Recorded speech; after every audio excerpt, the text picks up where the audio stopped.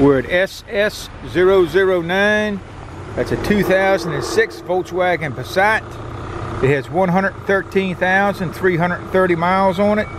We got a 2.0 liter turbo motor, which I have running at Lew's Auto Service and Salvage.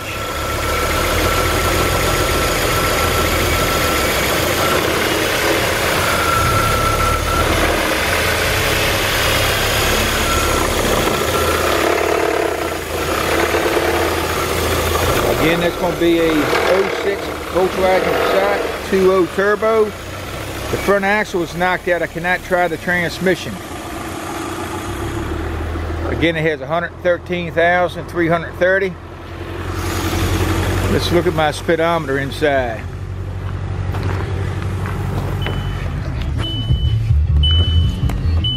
Here's my speedometer. Do my driver's side window. See it goes down and up. Passenger side front, which is working. Driver side rear. That one works. Passenger side rear. That one's working. And we'll see if we can't get the sunroof operable. And the sunroof is working also. Alright, now let's go look at our radio.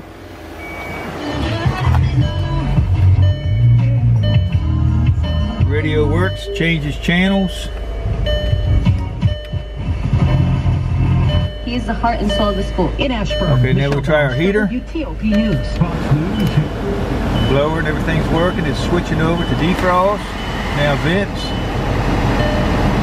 All that is working.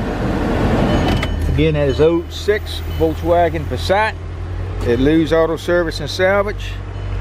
An SS009. Again, I cannot try the transmission because the axle is knocked at the front. Thank you.